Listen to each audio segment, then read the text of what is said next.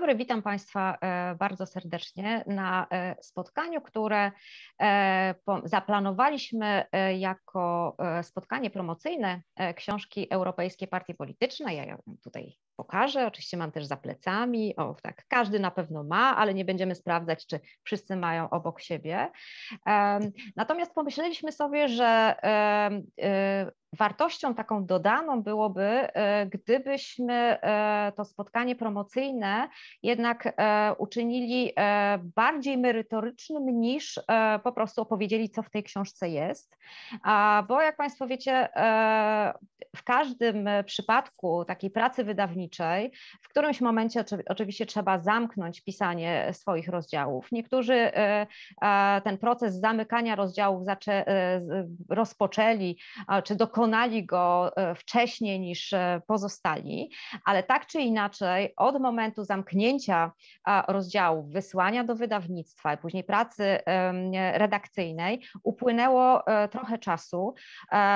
Świat nie stoi w miejscu, Europa nie stoi w miejscu, sporo się wydarzyło i dlatego nasz pomysł był taki, żebyśmy dzisiaj nieco zaktualizowali, porozmawiali o tym, w jaki sposób europartie, grupy polityczne, ale również Europa jako taka, również z państwami członkowskimi, nie powiem, że na czele, ale przy udziale państw członkowskich, reaguje e, na najnowsze trendy, które obserwujemy w Unii Europejskiej.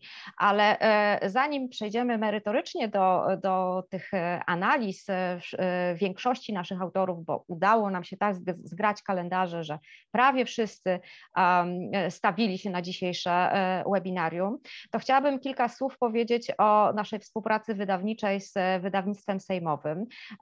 Witam wszystkich bardzo serdecznie, ale teraz chciałam powitać serdecznie panią naczelnik wydawnictwa, panią Jadwigę E, e, e, dlatego że to jest nasz dobry duch tego, tego przedsięwzięcia wydawniczego. Współpracowało nam się naprawdę bardzo dobrze. Kilka razy też dziękowałam pani naczelnik za i przekazywałam uznanie dla E, redaktorów, e, redaktorów naszej e, publikacji i również tych redaktorów grafików, dlatego że mam nadzieję, że Państwo podzielają mój pogląd, że, czy moją opinię, że ta książka jest naprawdę bardzo ładnie wydana. Wychwycane były wszelkie nasze potknięcia techniczne, a każdy, kto wydaje naukowe książki wie, że to wcale nie jest norma, e, jeśli chodzi o polskie e, wydawnictwa, więc to, e, to mówimy publicznie, mówimy również w rozmowach takich mniej formalnych, kiedy ktoś nas pyta, no to powiedzcie, jak z tym wydawnictwem sejmowym się współpracuje, więc od razu zapewniam, że, że mogą Państwo po, nie tylko po dzisiejszym spotkaniu, ale w ogóle po tym, jak wydaliście nas, mieć zalew pytań, czy mogliby Państwo wydać coś kolejnego z tej działki politologicznej. E, witam dzisiaj bardzo serdecznie e, naszych autorów i dzisiejszych prelegentów. Teraz przywitam w kolejności e, oddawania głosu, e, czyli profesora Radosława Zenderowskiego. Zaraz powiem, jakie wyznaczyliśmy mu zadanie na dzisiaj. E, profesora Wojciecha Gagatka, panią doktor Paulę Wiśniewską, pana doktora Błażeja Chorosia, panią doktor Annę Skrzypek, pana doktora e, Bartosza e, Rydlińskiego. E, I, no i teraz od razu powiem, czyli widzą Państwo, kogo zabrakło? Zabrakło pani profesor Beaty Kosowskiej-Gąstą. Jeżeli ktoś widział naszą książkę, to wie, że pani profesor Kosowska-Gąstą pisała o konserwatystach. W związku z tym dzisiaj nie usłyszymy o tym, w jaki sposób konserwatyści reagują na najnowsze wydarzenia i najnowsze trendy w Unii Europejskiej. No i nie mamy e, z nami pani doktor e, Nataszy Styczyńskiej, która e, wraz z doktorantką swoją pisała rozdział na temat grup narodowych, nacjonalistycznych, więc tego głosu dzisiaj też, też zabraknie. Więc jak powiedziałam, chcieliśmy przyjrzeć się tym reakcjom na to, co się dzieje nowego i co dzieje się wiele, więc wybraliśmy trzy takie kwestie, co do których chcielibyśmy, żeby Państwo się odnieśli właśnie z perspektywy tych partii, tych europartii i tych grup politycznych w Parlamencie Europejskim, które były przedmiotem Waszego zainteresowania e, podczas e, przygotowywania tej e, książki. Więc oczywiście pandemia, natomiast pandemia, w zasadzie skutki pandemii dla Unii Europejskiej. Jak wiemy, w wyniku pandemii, która przecież ciągle jest jeszcze nie, nie, nieskończona, nie, nie, nie zakończyła się, Unia Europejska wypracowała e, tak zwany fundusz odbudowy. E, I to jest jedno, tak, funduszy jest wiele, e, programów jest wiele przez, przez lata, ale on oczywiście wiemy, że jest szczególny, dlatego że niektórzy nawet mówią o tym, że, że jest to przejaw takiego momentu hamiltonowskiego, dlatego że Unia Europejska zdaniem tej narracji zmieniła się jakościowo, dlatego że zdecydowały się państwa członkowskie na to, żeby wspólnie zaciągnąć długi. I e, kolejna rzecz, i to jest jedna kwestia. Druga kwestia to jest e, taki nacisk położony, on jest ważny e, z perspektywy Polski, na to, żeby połączyć kwestie funduszy, korzystania z funduszy europejskich z zasadą praworządności. I to jest właśnie ta druga rzecz. I trzecia to jest to, że obserwujemy, wydaje nam się, zmianę e, nastawienia do e, europejskiej polityki migracyjnej, nastawienia nie tylko państw członkowskich, ale również instytucji, e, instytucji unijnych. No i teraz te problemy są dyskutowane przestrzeni politycznej w państwach członkowskich z większym bądź mniejszym nasileniem i tak zwanej europejskiej bańce. Natomiast e, chcielibyśmy się dowiedzieć, e, w jaki sposób e, konkretne rodziny ideologiczne, rodziny polityczne odnoszą się do tych kwestii, a może jest tak, że któreś z tych tematów e, dla europartii czy grup politycznych stają się niejako niewygodne i są głośno przemilczane, jeżeli można tak powiedzieć. E, I na przykład e, te analizowane przez Was grupy czy europartie omijają te tematy i próbują przeforsować zupełnie, czy wrzucić na agendę europejską zupełnie inne kwestie, to wtedy też chcielibyśmy to usłyszeć.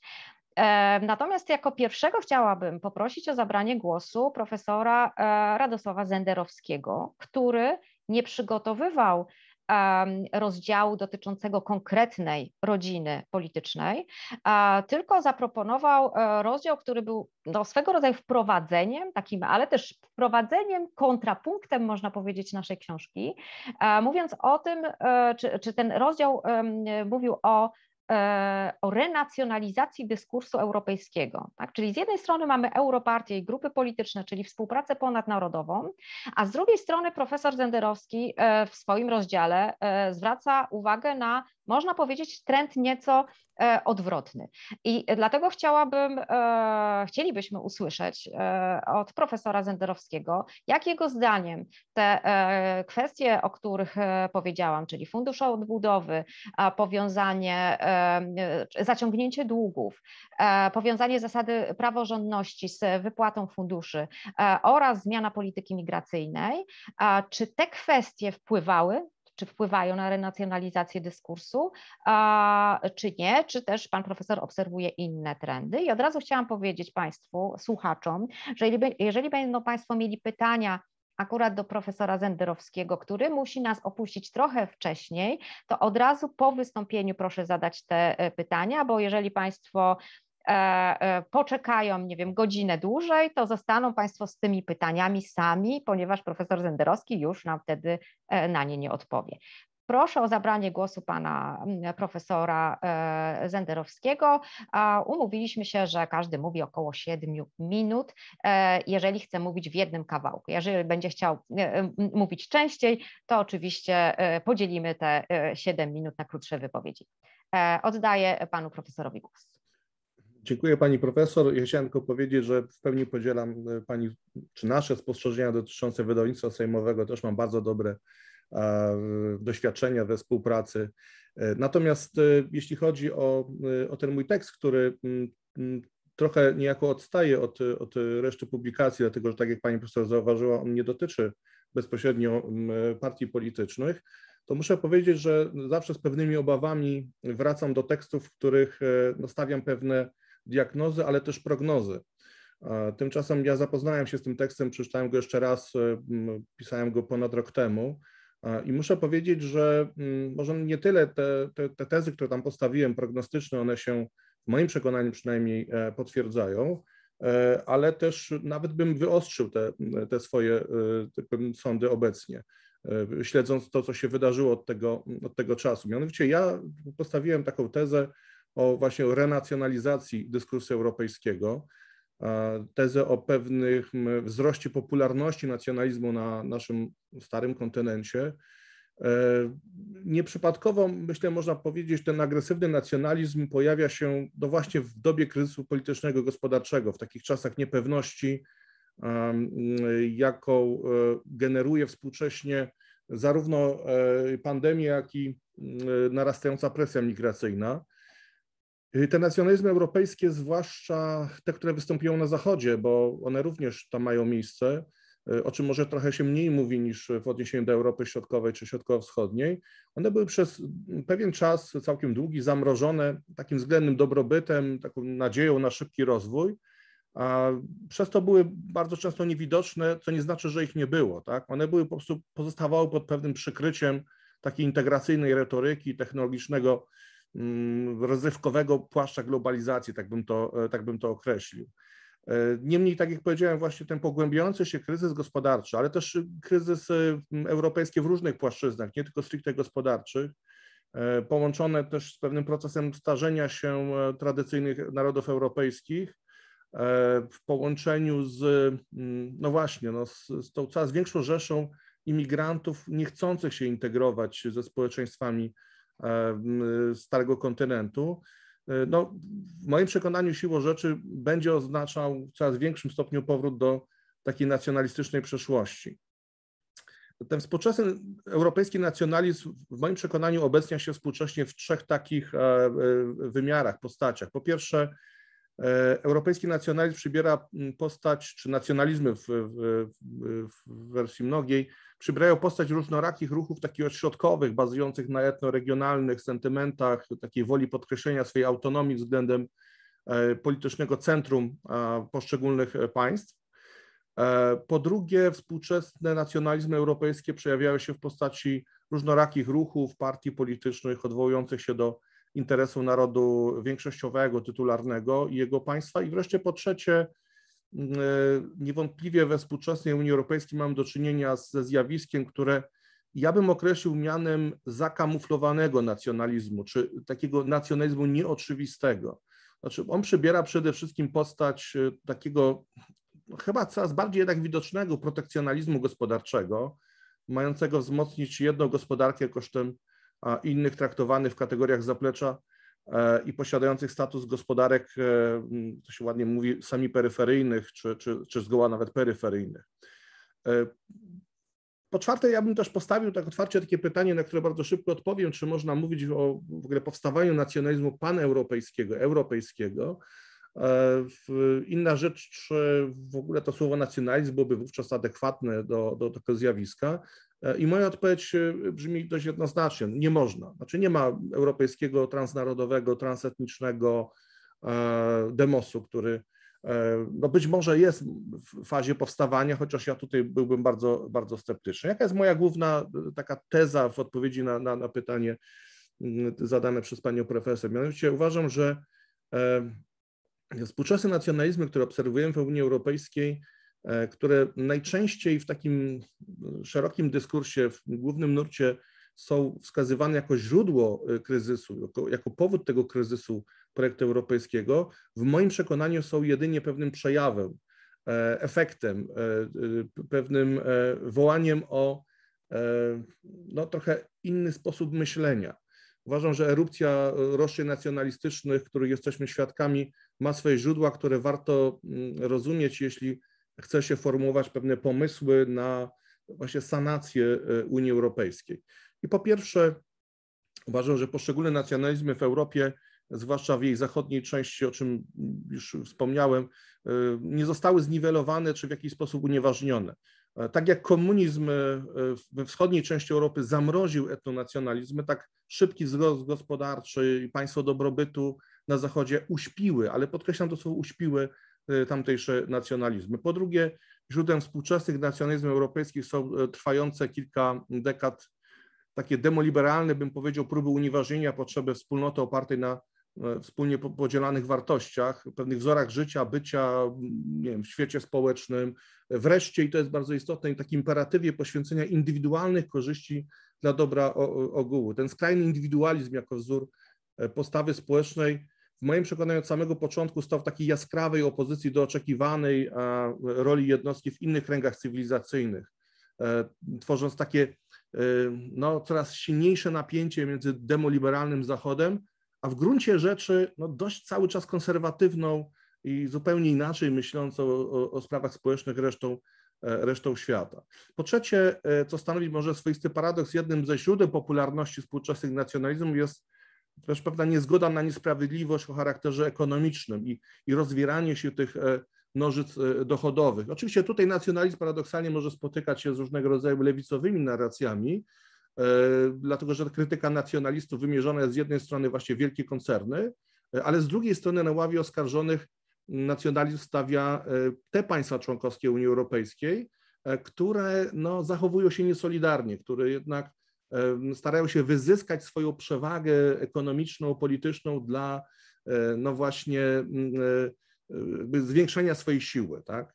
I po czwarte, współczesne nacjonalizmy europejskie e, pierwotnie żywiły się lękiem czy taką niechęcią wobec obcych i początkowo tymi obcymi były mniejszości narodowe, mniejszości etniczne. Tymczasem właściwie od II wojny światowej, a zwłaszcza w ostatnich kilku dekadach, w tą rolę właśnie kozła ofiarnego, czy, czy tego innego, tego obcego, tego wroga, bym powiedział nawet, e, wcielają się, czy są wcielane grupy imigrantów spoza, spoza Europy. I po piąte, e, też bym postawił taką tezę, że to odrodzenie myślenia nacjonalistycznego e, bardzo silnie jest korelowane z takim napięciem coraz bardziej wyraźnym, które rodzi się między takimi kosmopolitycznymi, dużymi miastami, aglomeracjami europejskimi, a z drugiej strony e, szeroko rozumianą prowincją, która na ogół jest bardziej konserwatywna i zachowawcza.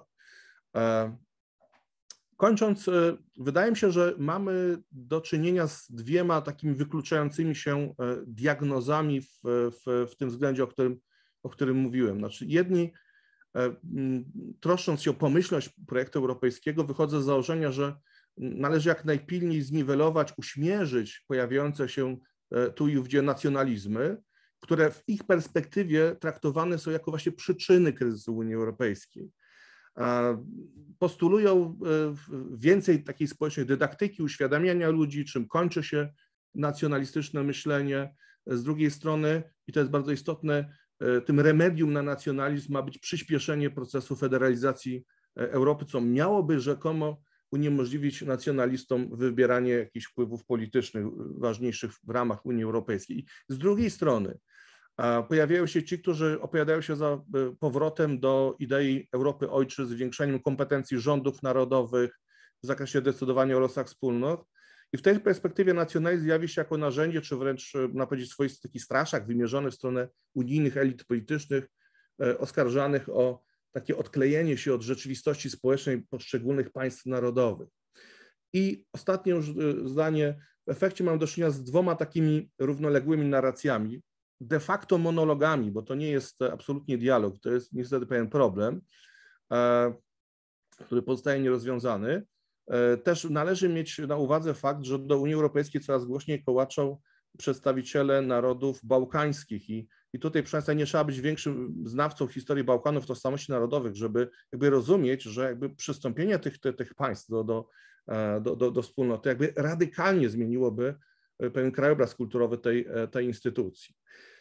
Ja myślę, że Unia Europejska jest w perspektywie tego, o czym powiedziałem, przed takim bardzo, bardzo, bardzo ważnym wyborem. Mianowicie są jakby dwa modele rozwiązywania kwestii e, narodowych w szerokim tego słowa znaczeniu. Ja też uważam, używam tego słowa na nacjonalizm w takim bardziej anglosaskim e, znaczeniu. Mianowicie z jednej strony mamy model helwecki, z drugiej strony mamy model e, jugosłowiański. I Europa obecnie w moim przekonaniu staje przed wyborem, którą drogą pójść, czy drogą bałkanizacji, drogą jugosłowianizacji, pewnej centralizacji, federalizacji, trochę z pominięciem, e, no właśnie tych, nierozumieniem tych sentymentów narodowych, bo można ich nie lubić, ale trzeba je przynajmniej rozumieć, czy też pójść drogą helwetyzacji, czyli zupełnie innego układania jakby relacji pomiędzy e, narodami, które wciąż uparcie istnieją, e, tak jak istnieją nacjonalizmy, które wcale nie zniknęły z, z mapy politycznej Europy. Dziękuję bardzo, mam nadzieję, że się, no troszkę przekroczyłem, widzę półtorej minuty. Dziękuję. Tak, dziękujemy bardzo. E, czy mają Państwo na czacie? Nie widzę pytań, bo jeszcze nie powiedziałam, jak można zadawać pytania. Oczywiście wszyscy jesteśmy obeznani z Zoomem e, przez pandemię, więc można zadawać pytania na czacie, można podnosić rękę albo po prostu zabrać e, głos. Czy ktoś z Państwa chce skorzystać z tego, że profesor Zenderowski jeszcze chwilę jest z nami i zadać już teraz pytanie? Obiecywał, że jeżeli komuś się zrodzi pytanie za jakiś czas, to może do niego napisać, ale śmialiśmy się, że nie wiadomo, czy odpowie, e, odpowie. więc odpowie. Dobrze. E, e, jeżeli na razie nie ma pytania, to ja chciałam się dopytać. A, Bartosz też. Ale to, to ja poczekam, tak, to Pani Profesor Tak, tak, to może, bo być może, że się uzupełnimy naszymi, naszymi pytaniami, a to żeby nie zabierać zbyt dużo czasu, to zbierzemy pytania i Pan Profesor odpowie od razu. Mam pytanie, bo, bo co do diagnozy się zgadzam, ale chciałam zapytać, czy Pana zdaniem, e, w związku z tym, że e, jak Pan powiedział, no narody ciągle istnieją i nawet można ich e, jakby tego dyskursu nacjonalistycznego nie lubić, ale trzeba go zrozumieć. I czy w takim razie zwolennikom federalnej takiej koncepcji Europy pozostała już tylko frustracja, że to się nie uda? Czy, czy to jest tak, że oni mimo tego monologowania można znaleźć jakiś e, złoty środek, który może nie będzie koniecznie po środku, czy też e, to będzie szło w taki sposób, że albo wygrają jedni, albo wygrają drudzy, czyli albo federaliści, upraszczając oczywiście, albo zwolennicy Europy ojczyzn i tego, że narody ciągle są ważne, czy Verhofstadt będzie już do końca życia sfrustrowanym politykiem, czy nie upraszczając bardzo i personalizując to pytanie. Bartoszu, może ty zadaj jeszcze swoje. Mhm.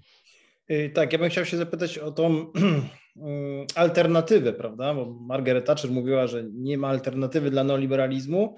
Pytanie o tą alternatywę dla y, integracji europejskiej globalizacji, bo to czy nie jest też tak, że ta oferta nacjonalistyczna pod względem symbolicznym faktycznie często nachodzi na ofertę lewicową, zarówno tą socjaldemokratyczną, jak i nie.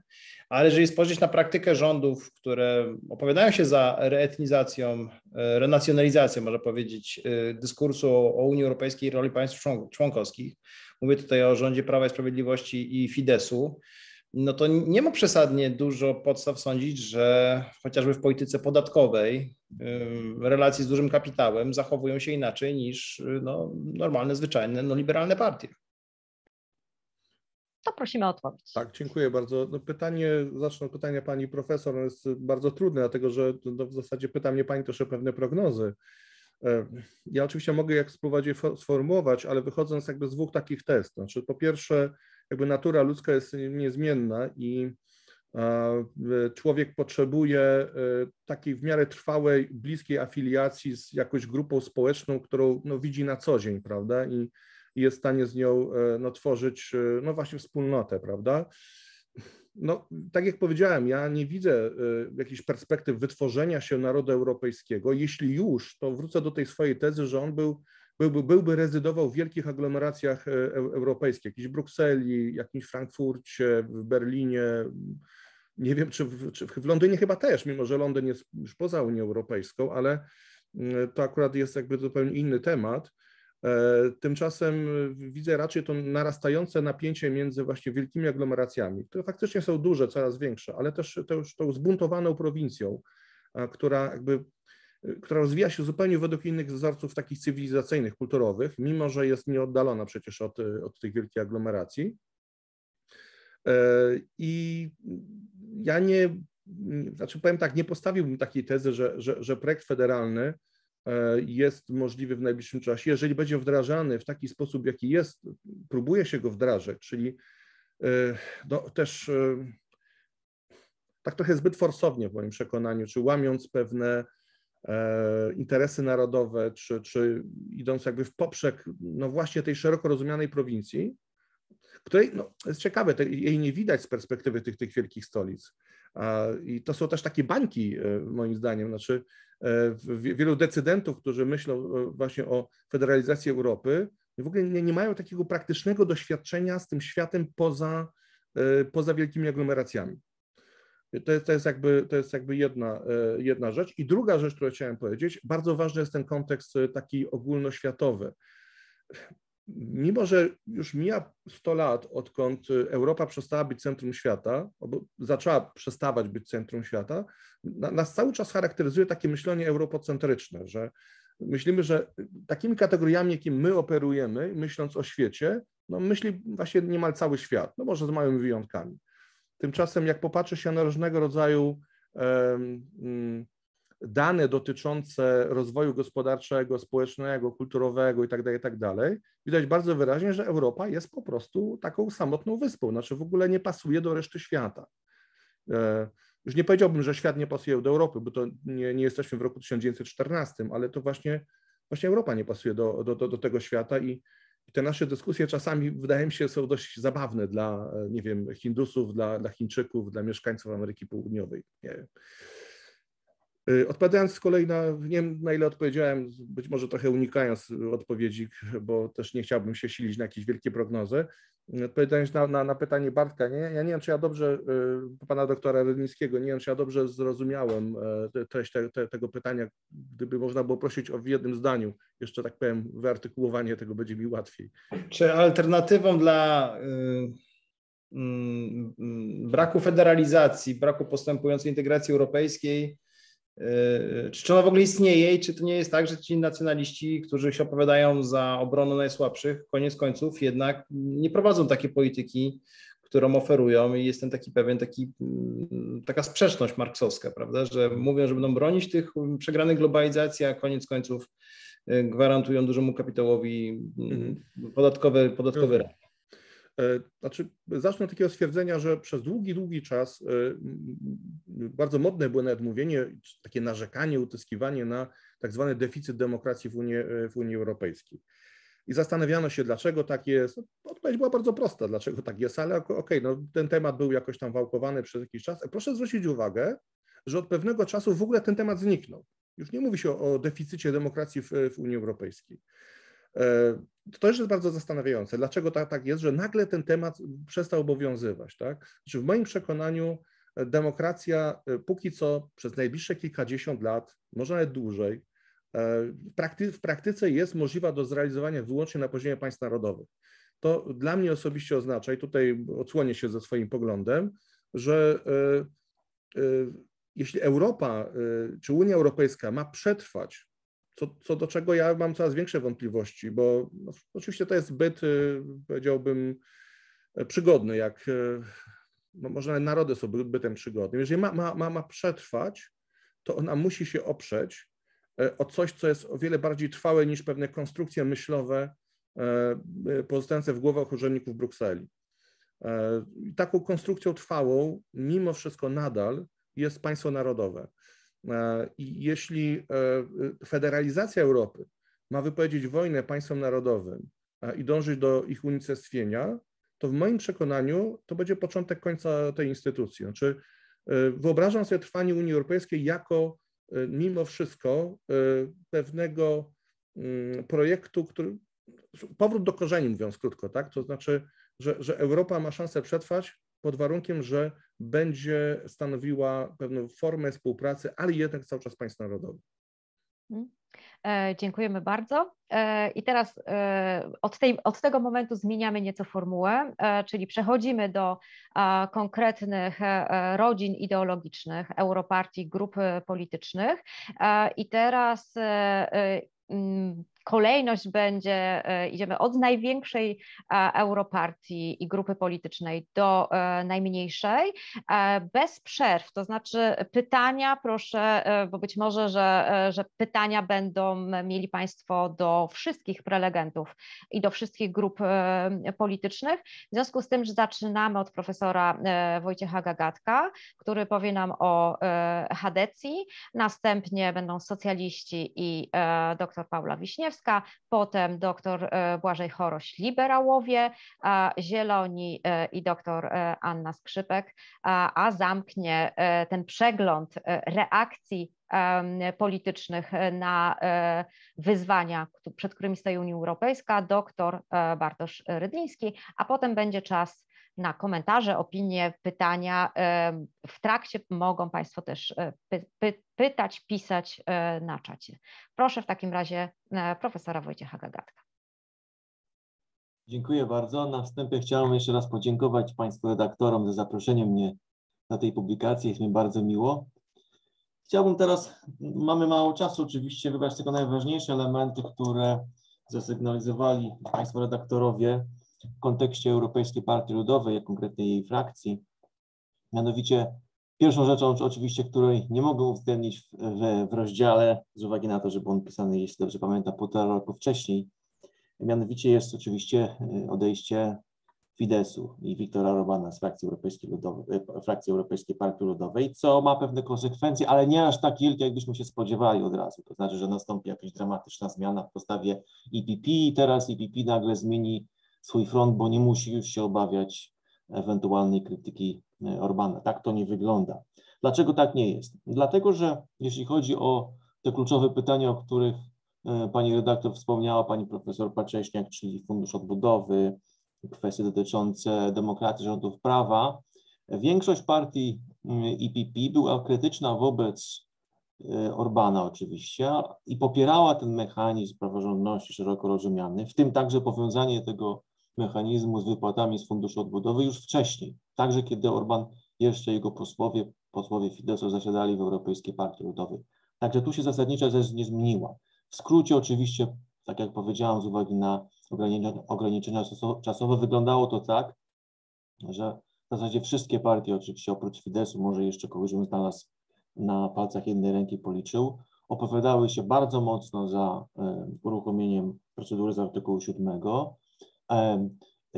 Tutaj jakby nie było, tak jak powiedziałam, to, że, że Orban był, jego partia była członkiem nie miało to znaczenia, ale jednocześnie taki wytrych stosowano troszeczkę taki retoryczny, że powinno to, te przepisy, te procedury mieć zastosowanie do wszystkich potencjalnych państw i wszystkich potencjalnych krajów. Chodziło, mówiąc krótko, o to, że część posłów z niektórych e, państw Unii Europejskiej należących do IPB wskazywało, że przecież to tylko nie jest, nie chodzi tylko o Orbana, ale także myślało w kategoriach walki wewnętrznej, że być może znalazły się także inne partie. Więc przykładowo jeden poseł wtedy y, y, słoweński należący do, do IPP wskazywał, że być może należałoby zająć się socjalistami w Słowenii z tego punktu widzenia. Więc chodziło troszeczkę o takie właśnie y, spojrzenie, że okej, okay, Orban nie jest taki fajny, jakby się wydawało, jest, w zasadzie to jest zły, ale nie myślmy tego Orbanie. Oczywiście skupmy się także na innych państwach. I we wszystkich debatach, które tego dotyczyły, wydaje mi się, że taki pogląd był bardzo mocno widoczny. Natomiast teraz, kiedy e, już Viktor Orban nie jest, jego partia nie jest członkiem PP, e, zmieniła się troszkę ta czarna owca. O niej się jeszcze tak dużo nie mówi, jeszcze nie jest taką gwiazdą, że tak powiem, świat europejskiej polityki, ale to oczywiście chodzi o, o premiera Słowenii, czyli pana Jansa. I on powoli staje się taką drugą osobą. Tam oczywiście są jeszcze takie nawet hasła w parlamencie, czasami się mówi o przyjacielach Orbana, Orbana VPP. Znalazłoby się jeszcze pewnie kilka partii, które nie są tak mocno zadowolone z powiązania e, wypłat z Funduszu Odbudowy, czy w ogóle działań Unii Europejskiej w zakresie praworządności, obawiając się po prostu o to, jak gdyby one rządziły, albo jeśli one rządzą, że być może w pewnym momencie także przyjdzie i na nich kolej, jeśli chodzi o te, o te głosy krytyki. Ale generalnie rzecz biorąc, w tej chwili sytuacja wygląda w ten sposób, że większość tych frakcji, tych najważniejszych frakcji proeuropejskich bardzo mocno się zjednoczyła. Do tego stopnia, że no to, o tym może jeszcze koledzy i koleżanki powiedzą, no w ostatnim czasie rozważane nawet jest bardzo mocne kroki wobec Komisji Europejskiej, którą parlament oskarża o to, że jest zbyt mało aktywna, że jest zbyt pasywna w działaniach w zakresie praworządności. Troszkę to się oczywiście zmienia ostatnimi dniami, tygodniami, to widzimy, ale, ale te debaty, które przygotował przed wakacjami w Parlamencie Europejskim na to wskazywały. A zatem mamy do czynienia z sytuacją, w której parlament dość mocno te proeuropejskie siły się zjednoczył i wydaje się, że będzie tutaj dość mocno y, ten, ten front y, dalej widoczny. Oczywiście EPP nie jest tą partią, która najgłośniej wypowiada się w tych sprawach. Tutaj wydaje się mi, że prym wiodzą liberałowie, może zieloni, ale uczestniczy w tym szeroko rozumianym sojuszu głównej frakcji. Także to wydaje mi się mm, stanowiło taką główny element, jeśli chodzi o ewentualne zmiany w ostatnim czasie. Tak jak powiedziałam, dużo ich nie ma, może nastąpiły pewne po prostu zmiany akcentów. Natomiast EPP w tej chwili jako frakcja, ale też jako, jako rodzina polityczna jest czymś innym zajęta, wydaje mi się. To znaczy pytaniem, które postawił Manfred Weber, przewodniczący EPP, ale także inni liderzy mm, Hadecji, to znaczy odnowo na temat odnowy Hadecji, czyli toczą się dyskusje, a niedługo ma być kongres programowy i tak dalej, i tak dalej, na temat tego, jak ta Hadecja ma wyglądać w następnych latach. I to bardzo mocno oczywiście jest w tej chwili widoczne, te debaty się toczą. E, bez Orbana jest oczywiście łatwiej, e, tutaj to nie, nie, nie ulega wątpliwości, mm, e, ale myślę, że, że tak jak powiedziałem wcześniej, że niektóre głosy, że to nie jest tak, że jego usunięcie, jego odejście z EPP załatwia sprawę i w tej chwili już będzie wszystko łatwo, bo są też, tak jak powiedziałam, bardzo poważne siły i konkretne osoby w ramach EPP obecnie, no, które mają poglądy, jeśli nie zbliżone, no to przynajmniej nie, nie tak radykalne wydawałoby się, jak niektóre kraje z państw Europy Zachodniej.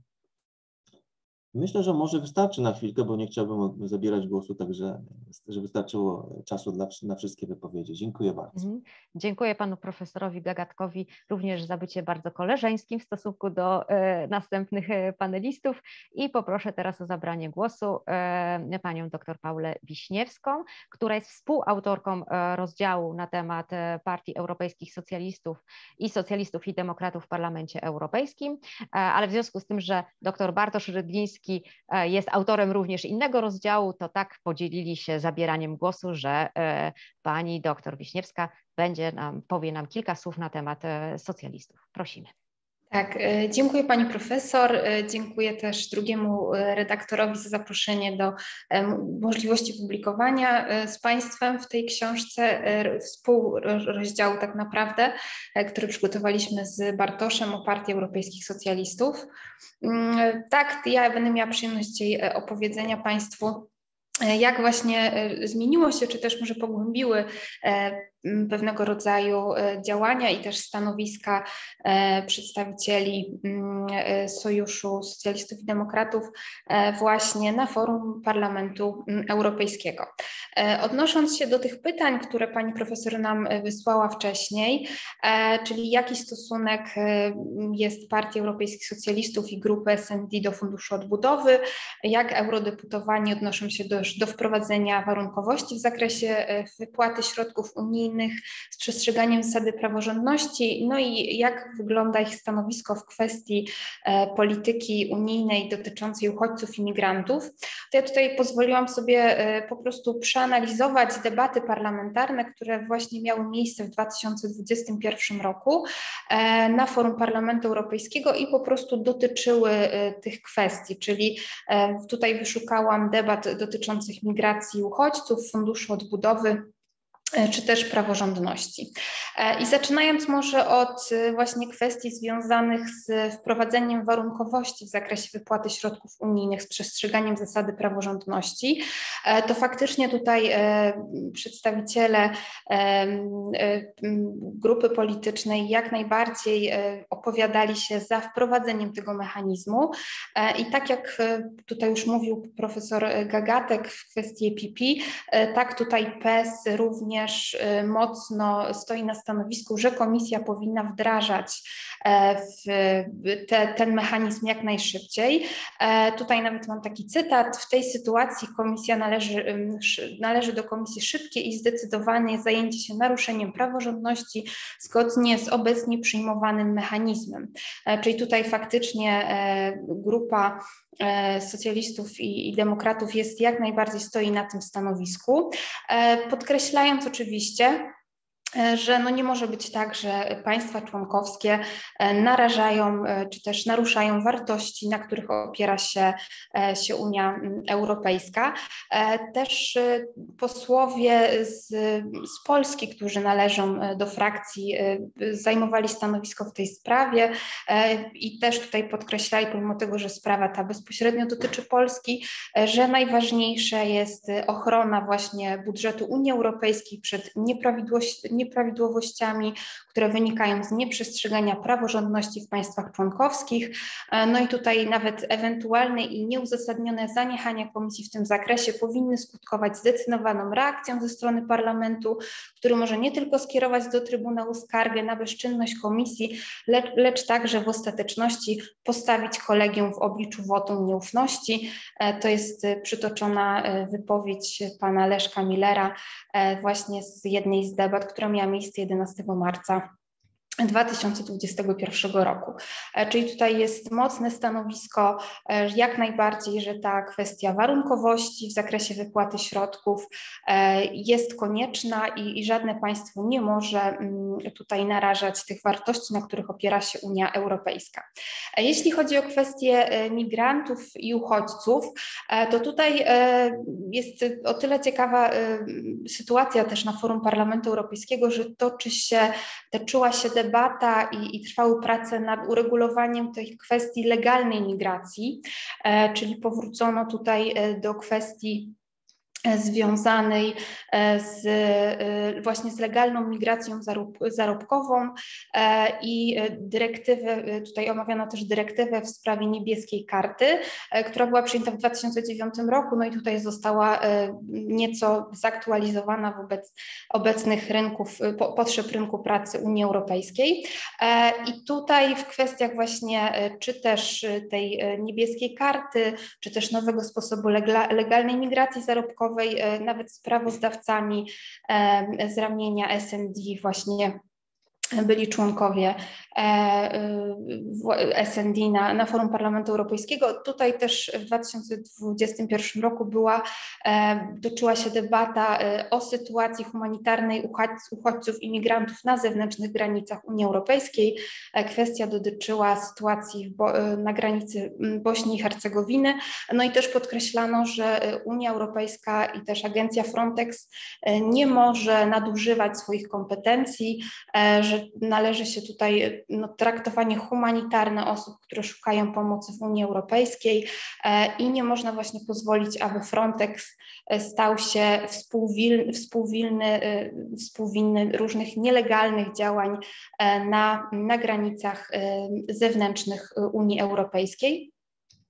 E, jeśli chodzi o e, tutaj Fundusz e, Azylu, Migracji i Integracji na lata 2021-2027, to w swoich wypowiedziach też eurodeputowani z SND podkreślali, podkreślali, że migracja jest jednym z głównych problemów, przed którym stoi Unia Europejska i tutaj należy te pieniądze państwom członkowskim mm, jak najbardziej pomagać, żeby dostosowywać też ich polityki wewnętrzne mm, do nasilającej się migracji, no i też do, oczywiście kwestia ochrony granic zewnętrznych Unii Europejskiej.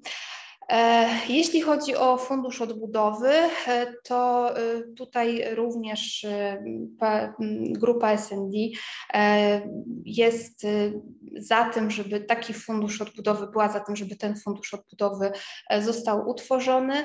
W swoich wypowiedziach też eurodeputowani podkreślali, że jest to zdecydowanie lepszy mechanizm niż ten, który zastosowano w 2009 roku po kryzysie gospodarczym, czyli nie należy zaciskać pasa, tak tylko właśnie pomagać państwom członkowskim i tutaj te, mm, można powiedzieć, że wspólne zaciąganie długów e, w żaden sposób SND nie, nie przeszkadzało.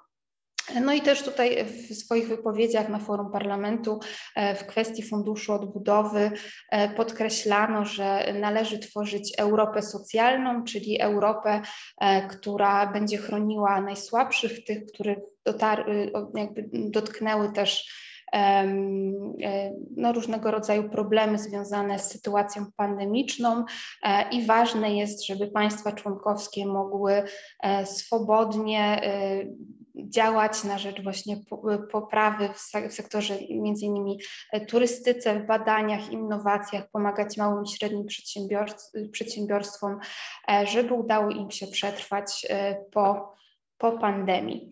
E, więc tak wygląda obecna, obecne stanowisko mm, SND na forum Parlamentu Europejskiego i już nie przedłużając, żeby moi kolejni mówcy mieli troszeczkę czasu po mnie, dziękuję bardzo. Mhm, dziękuję bardzo pani e, doktor. E, ja wiem, że teraz wszyscy chcą zdobyć pochwały, że są koleżeńscy, więc oczywiście chwalimy. I teraz poproszę o liberałach E, może trochę w kontrze do tego, co powiedział pan profesor e, Zenderowski, e, bo myślę, że właśnie ta rodzina ideologiczna analizowana przez doktora Błażeja Chorosia chyba najbardziej jest w kontrze tej renacjonalizacji dyskursu, ale oczywiście nie wnikam, co zostanie powiedziane. Zapraszam do wypowiedzi o liberałach. E, dziękuję bardzo e, za udzielenie głosu i za zaproszenie do, e, do książki. Też powtórzę po moich przedmówcach, że, że bardzo byłoby mi miło, że zostałem do tego przedsięwzięcia zaproszony. Bardzo ciekawie pani profesor tutaj zapodała tą perspektywę ustawienia się w kontrze trochę do, do tej renacjonalizacji, ale no właśnie, pisałem rozdział o liberałach ale już e, zamykając go, już e, wiedzieliśmy, że e, zmienia się nazwa tej grupy politycznej i ci liberałowie z nazwy znikają i można to potraktować, wydaje mi się, przynajmniej patrząc na te ostatnie dwa lata, jako taki dosyć symptomatyczne jednak zachowanie. Wiadomo, że to się stało z, dlatego, aby jakby zrealizować żądanie prezydenta Macrona e, i, i, aby ta grupa, w której jego deputowani e, stanowią też istotny element, nie miała tego liberalizmu w nazwie. Zresztą akurat w przypadku liberałów to mm, zmiany nazw to jest coś, co jest wpisane w historię tej grupy bardzo, e, bardzo głęboko. No ale przechodząc jakby do meritum, czyli do tego, jak to się przekłada na, na, na funkcjonowanie tej grupy, zwłaszcza w tych trzech obszarach, o których dzisiaj rozmawiamy, czyli właśnie kwestia budżetu e, i tego wspólnego zapożyczania się, kwestia, mm, kwestia e, zasady warunkowości, no i kwestia migracji. W tych pierwszych dwóch e, sprawach w zasadzie można powiedzieć, że faktycznie Renew Europe jest w awangardzie, powiedzielibyśmy, europejskiej i też w takiej awangardzie, jeżeli chodzi o proponowane rozwiązania. Pan profesor Gagatek tutaj słusznie zauważył, że to w zasadzie oni grali pierwsze skrzypce, jeżeli chodzi o mówienie o, e, o zasadzie warunkowości. Jak prześledzimy debaty dotyczące budżetu, już począwszy od tej z lipca e, zeszłego roku, takiej e, powiedzmy rozpoczynającej to, gdzie pojawiły się te wątki mm, nie tylko wspólnej pożyczki, ale również wprowadzenia tego mechanizmu dochodów własnych Unii Europejskiej, no to w zasadzie w wypowiedziach i szefa grupy, i pozostałych przedstawicieli e, liberałów dominował wątek, e, dominował wątek tej zasady warunkowości. Znaczy oni bezwarunkowo w zasadzie popierali i e, fundusz odbudowy ale zawsze w drugim zdaniu zaznaczając, że to jest możliwe tylko wtedy, jeżeli państwa członkowskie będą przestrzegały zasady, zasady praworządności. Jeszcze jeden element u nich w tej narracji był dosyć istotny i, i powtarzający się, czyli właśnie te dochody własne Unii Europejskiej. I to myślę można tutaj rozpatrywać trochę w kategoriach kontry tego, o czym mówił e, e, profesor Zederowski, no bo to jest, jeśli szukamy gdzieś jakichś kolejnych kroków do federalizacji, to tworzenie e, niezależnych źródeł dochodu, czy poszerzanie tych niezależnych źródeł dochodu. Tutaj mówimy o propozycjach dosyć daleko idących, jak choćby ten podatek węglowy, który na granicach ma być nakładany, prawda? No on w zeszłym roku może jego wprowadzenie wydawało się nieco bardziej szybsze i realistyczne niż obecny postęp prac na, tym, na to wskazuje, ale to są wątki, które liberałowie w zasadzie cały czas e, powtarzali. Ta kwestia dotycząca, e, dotycząca mm, zasady warunkowości była osią niewątpliwie e, ich wystąpień. Im chronologicznie pójdziemy ku nowszym wystąpieniom, tym w zasadzie więcej miejsca to zajmowało. W debatach, które odbywały się w tym roku, już to były wypowiedzi, czyli już po jakby przyjęciu rozwiązań prawnych no to były te wypowiedzi e, wzywające, podobnie zresztą jak w przypadku IPP, o tym też profesor Gogatek wspominał, czy doktor Wiśniewska w przypadku socjalistów, e, wypowiedzi w, napominające wręcz Komisję Europejską. Tam się pojawiały takie bardzo ostre sformułowania, że ustalenia polityczne ze szczytów nie mają żadnego znaczenia, liczy się to, co jest zapisane w prawie i tego należy przestrzegać. I komisja, czyli jakby to takie pamiętamy wszyscy, prawda, ten moment, kiedy yy, komisja trochę yy, próbowała przedstawić czy rozwodnić tak, to, to, to, to, to rozwiązanie, sugerując, że no być może po to, żeby Polskę nakłonić do, do jednak zaakceptowania go, że ono będzie właśnie takie trochę uznaniowe i w zasadzie nie do, nie do, końca wiadomo, jak ono będzie działało i od kiedy, i które sprawy się będą zaliczały do tego, no to tutaj w tych wystąpieniach liberałów y, cały czas powtarzany jest wątek, że od 1 stycznia i wszystkie sprawy związane z finansami I tutaj zresztą też dosyć dużo takich wycieczek personalnych się w tych wystąpieniach pojawia, głównie w wystąpieniach deputowanych e, węgierskich z, należących do grupy e, e, Renew Europe, którzy no, wspominają cały czas o Orbanie, oligarchach, tam się pojawiają te sformułowania, że komisja musi zastopować to, aby węgierscy, węgierscy oligarchowie traktowali fundusze europejskie jak bankomat, prawda? Taki, taka fraza tam dosyć często e, się pojawia. Natomiast jeżeli chodzi o tą trzecią kwestię, czyli o migrację, no to tutaj e, pani profesor na początku zasygnalizowała, e, że są takie kwestie, które są obejmowane takim kłopotliwym milczeniem. I może nie powiedziałbym, że liberałowie kłopotliwie milczą w sprawie migracji, ale jak spojrzymy z perspektywy ostatnich kilku lat, to w zasadzie do 2019 roku to była grupa, która bardzo progresywnie na to patrzyła i skupiali się na, na przykład na postulowaniu rozszerzenia e, praw, e, które będą uprawniały do uzyskania azylu. Natomiast w 2019 roku, podczas tworzenia programu przed wyborami parlamentarnymi, nastąpiła nieco zaskakująca w kontekście wcześniejszych ich e, policy papers Volta, gdzie to stanowisko względem migracji zostało dosyć mocno utemperowane. To jeszcze akurat to się zmieściło w, w moim rozdziale, e, bo te dokumenty już się zdążyły e, pojawić, więc e, zaczęły tam się pojawiać takie sformułowania, które skądinąd znamy z zupełnie innych rejonów Europy o tym, że należy przede wszystkim bronić granic zewnętrznych, że pomagać trzeba w miejscu, gdzie ci migranci są, albo w krajach sąsiednich, prawda, czyli pomagać na miejscu, a nie u nas.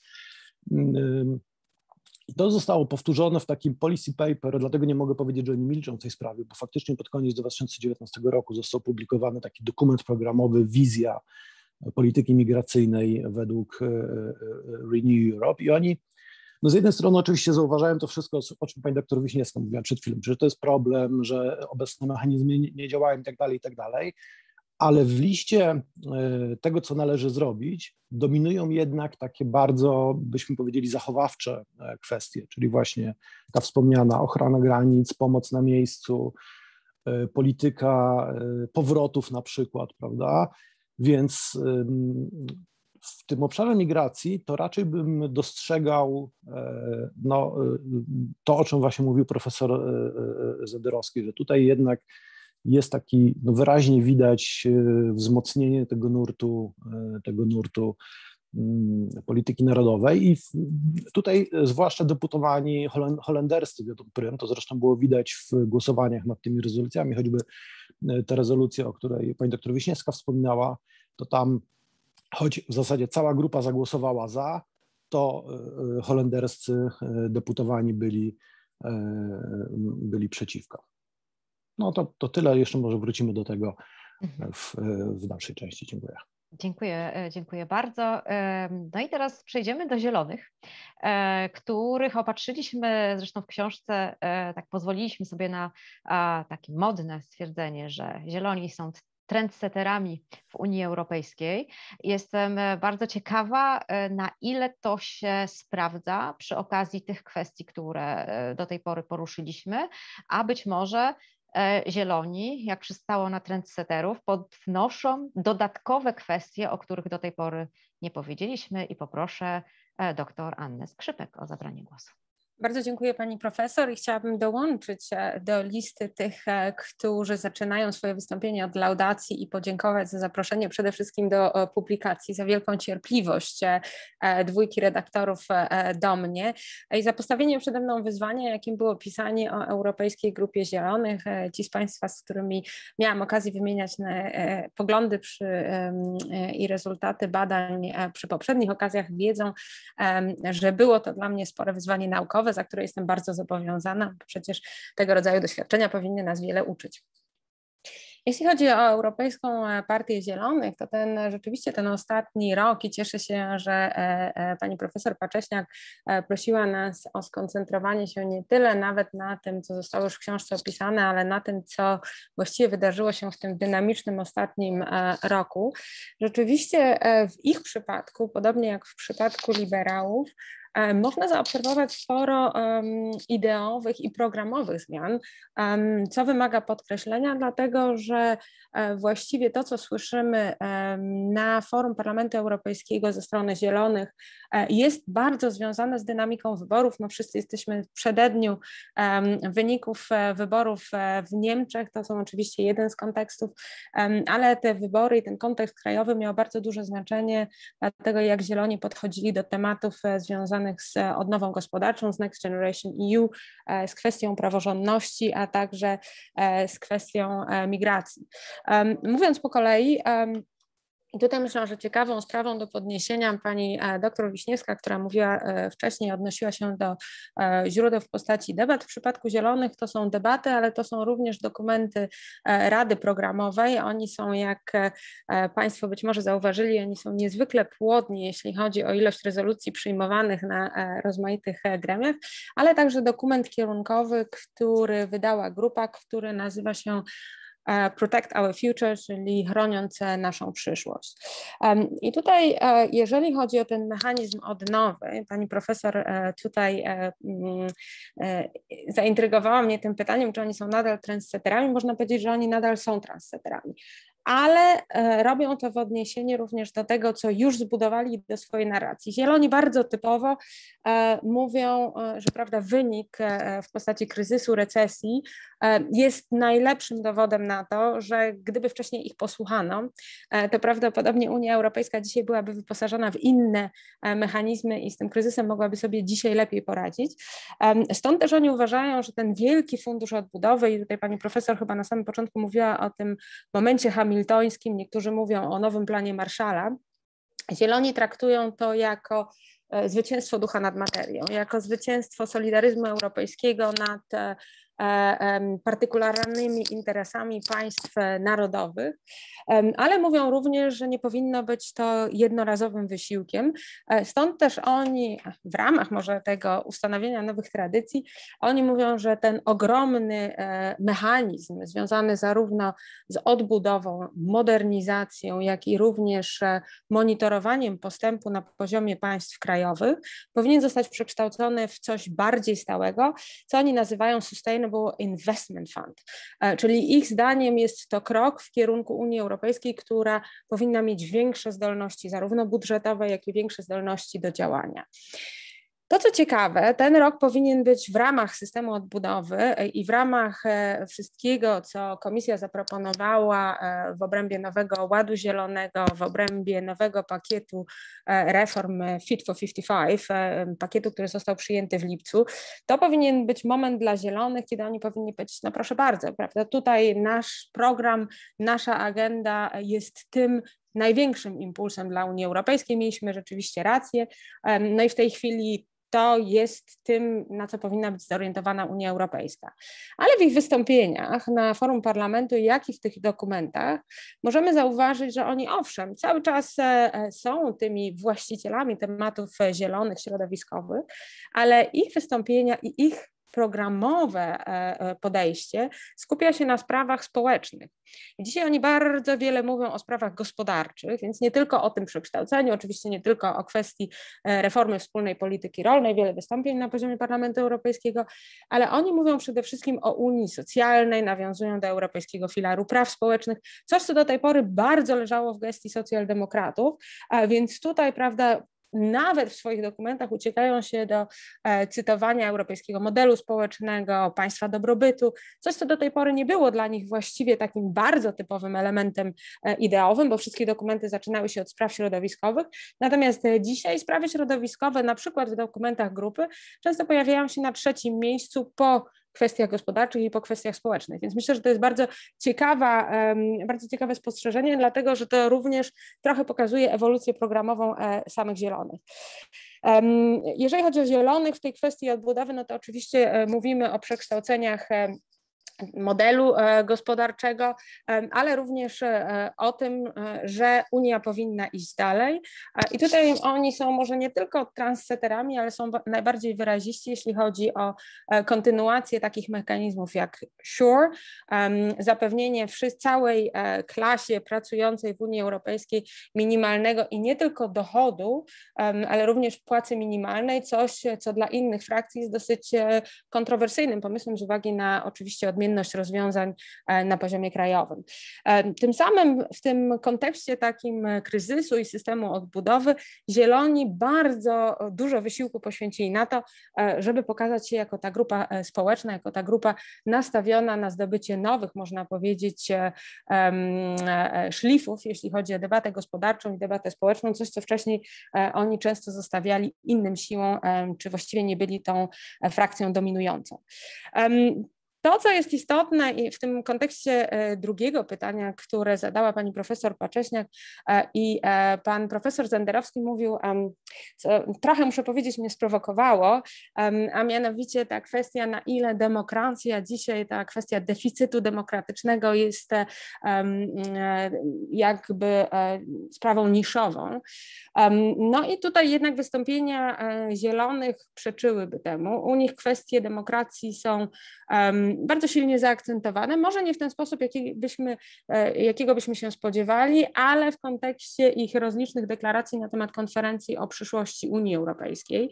Oni nadal pozostają idealistami, bo w tej chwili w tej bańce, o której mówimy, no jest bardzo wiele frustracji, że ta konferencja a propos przyszłości Europy e, nie spełnia oczekiwań. Oni nadal uważają, że można jednak wysłuchać obywateli, że ten głos obywatelski może być e, w jakiś sposób silniej zaakcentowany w dokumentach końcowych, ale oni jako również e, wykorzystują ten moment, moment uwagi i mają bardzo w tych dyskusjach parlamentarnych, ale także w dokumentach programowych, mają bardzo silnie zarysowaną tendencję do tego, żeby promować e, transnarodowe listy już w kontekście reformy e, Europartii, która w tej chwili jest dyskutowana na forum Parlamentu Europejskiego, jak i w kontekście nadchodzących wyborów 2024. Ja tutaj nie mam możliwości czasowych, żeby przy, przedłożyć ich jak, jak bardzo konkretna jest ich propozycja, ale ona się nawet sprowadza do tego, e, e, co, jakie wymagania powinny być, żeby taką listę zarejestrować, kto powinien e, nad tą listą czuwać, nad wyborami itd. Tak itd. Tak to, co może jest zaskakujące w kwestii wyborów i tutaj pan profesor Gagatek mówił wcześniej chyba o tym mechanizmie związanym z systemem odbudowy, a przestrzeganiem demokracji, no, który jest jednak zapisany w w warunkach, które państwo musi spełnić w Narodowym Planie Odbudowy. U Zielonych pojawia się to wyłącznie w dyskusjach, takich dyskusjach jak e, przykładowo e, sprzed e, tygodnia a propos um, orędzia na temat stanu Unii Europejskiej. Natomiast w dokumentach właściwie demokracja dotyczy właśnie to, co oni mówią na temat demokracji, dotyczy bardziej kwestii partycypacji, konferencji a propos przyszłości Europy.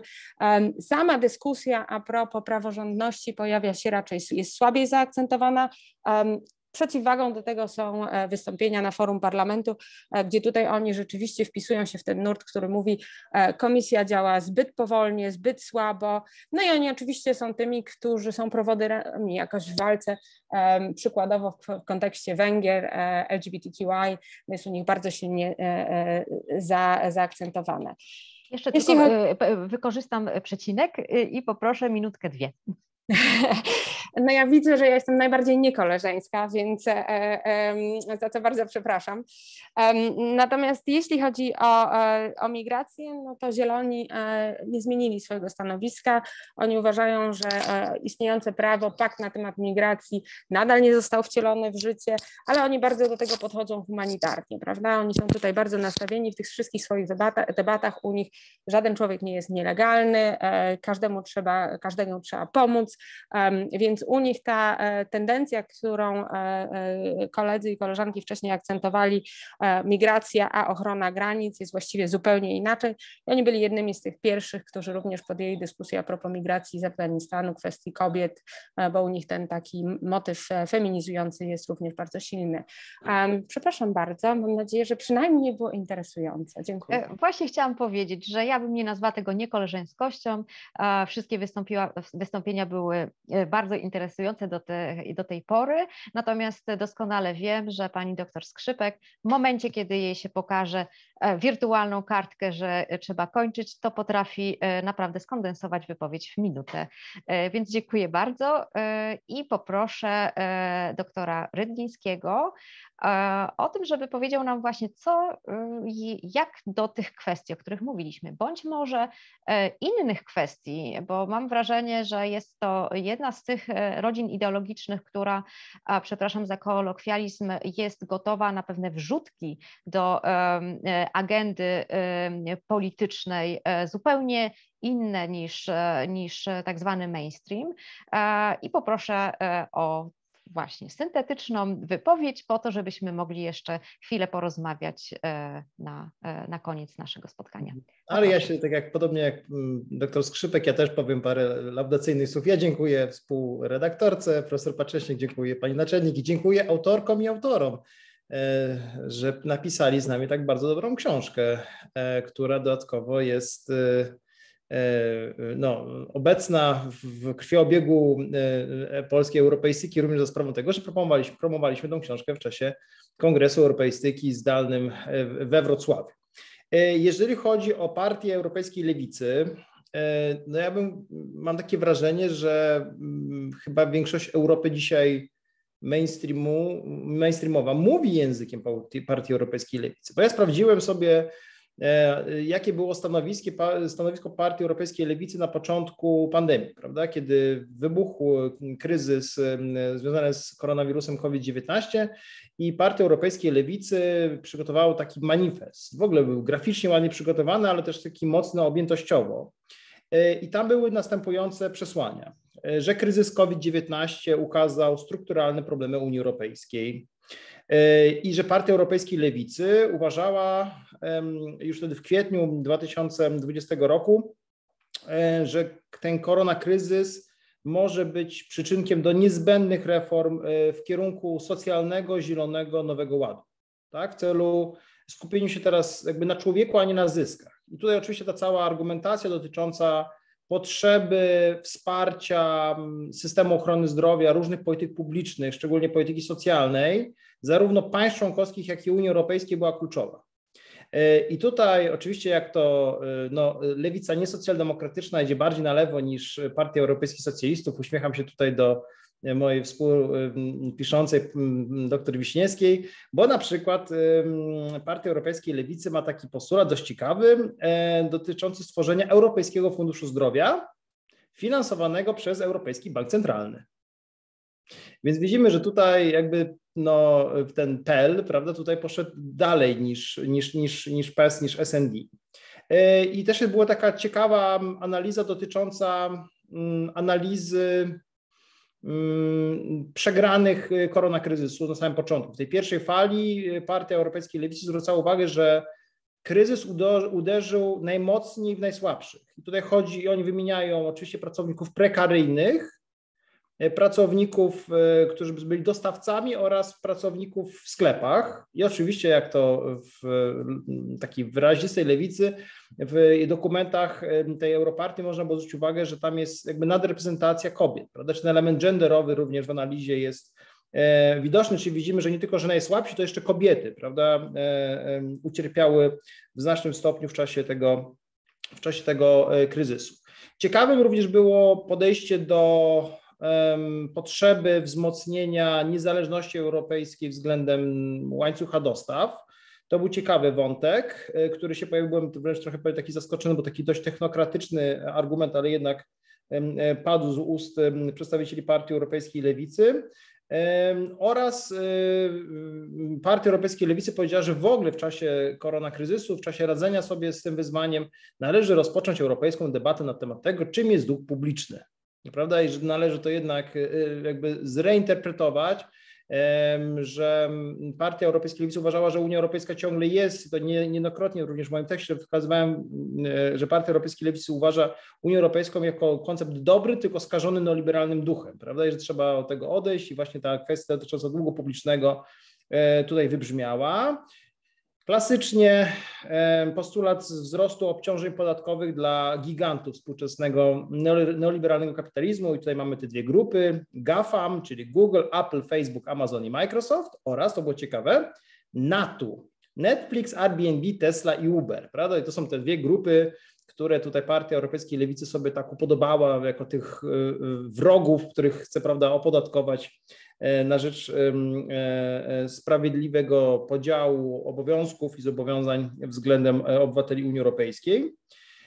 I jeżeli chodzi o sam koronakryzys, będę powoli przechodzić do polityki zagranicznej bezpieczeństwa, czyli wymiaru migracji i uchodźców, Partia Europejskiej Lewicy zwraca uwagę, że koronakryzys jest idealnym pretekstem do odejścia od wyścigu zbrojeń w Unii Europejskiej że zwyczajnie należy odejść od wzmacniania armii, y, wydatków na zbrojenia y, oraz odejścia w ogóle od pomysłu europejskiej armii, prawda? I tutaj y, jakby że te pieniądze, które są wydatkowane na te wszystkie samoloty, czołgi, transportery opancerzone powinny pójść w, na rzecz lekarzy, pielęgniarek oraz wszystkich, którzy walczą na froncie z koronakryzysem z koronawirusem i tutaj y, te wzmocnienie bezpieczeństwa cywilnego i socjalnego jest tutaj y, jakby takim główną narracją Partii Europejskiej Lewicy. Y, bardzo pokrótce, jeżeli chodzi o wątki migracji Afganistanu i praworządności. No, Partia Europejskiej Lewicy święciła oczywiście triumfy po zakończeniu misji w Afganistanie, z tego prostego względu, że główna partia Partii Europejskiej Lewicy, czyli niemiecka Die Linke, była przeciwko obecności e, wojsk i niemieckich, i europejskich w misji ISAF, w misji natowskiej. Przypomnijmy, że e, Die Linke, lewica, która teraz najprawdopodobniej lekko, lekko prześliźnie się nad progiem e, w wyborach do Bundestagu, jest w ogóle przeciwniczką NATO. Natomiast y, Partia Europejskiej Lewicy mówiła, że należy po pierwsze pomagać wszystkim tym, którzy niekoniecznie kolaborowali z amerykańskimi czy europejskimi e, żołnierzami w Afganistanie, tylko ci, którzy, są za, e, którzy pracowali na rzecz społeczeństwa sekularnego i praw kobiet. I to są jakby dwie grupy y, aktywistów politycznych z Afganistanu, którym należy pomóc, prawda? Z tego takich powodów ideowych i politycznych. A jeżeli chodzi o praworządność, no tutaj Partia Europejskiej Lewicy nie mówiła nic innego jak y, europejski mainstream, oczywiście przedstawiciel, szczególnie przedstawicielki Partii Europejskiej Lewicy zasiadające w, we frakcji Zjednoczona Lewica Europejska, Nordycka, Zielona Lewica, y, no, zwracały uwagę na kwestię aborcji, jeżeli chodzi o, o Polskę i tutaj to był jakby można powiedzieć największy taki punkt ataku przeprowadzony właśnie również z takich powodów czy z przyczyn feministycznych. Dziękuję. Mhm. E, dziękuję bardzo. Ja chwileczkę dam Państwu czas na zastanowienie się nad pytaniami, ewentualnie komentarzami e, i e, pozwolę sobie tylko jeszcze raz wyrazić żal, że zwłaszcza słuchając ostatniego zdania doktora Rydlińskiego o tym, że jeśli chodzi o kwestie praworządności, demokracji, europejska lewica niesocjaldemokratyczna była w mainstreamie i żal wyrażę nie, że taką miała pozycję, tylko że brakuje nam tego stanowiska teraz e, konserwatystów i nacjonalistów.